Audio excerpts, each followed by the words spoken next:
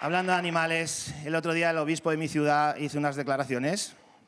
Yo soy de Alcalá de Henares, tenemos uno de los obispos más incompetentes de, toda España, y tuvo el valor de decir públicamente que eh, los homosexuales eran enfermos, que la homosexualidad era una enfermedad.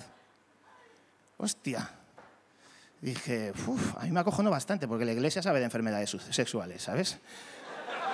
Pero lo que me jodió es con qué autoridad moral un obispo puede opinar, un obispo que ni se casa, que no tiene relaciones sexuales, puede opinar de algo que no sabe.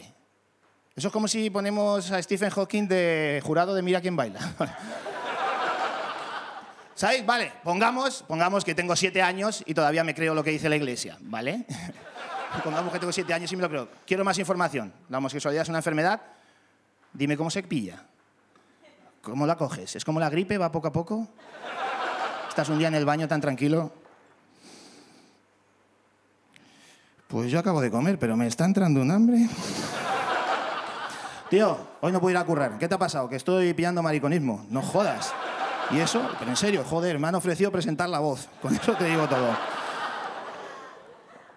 Lo que más me llamó la atención, y esto es real, que un psicólogo se hizo famoso porque eh, vendió a la iglesia que él hacía un tratamiento para curar a los homosexuales.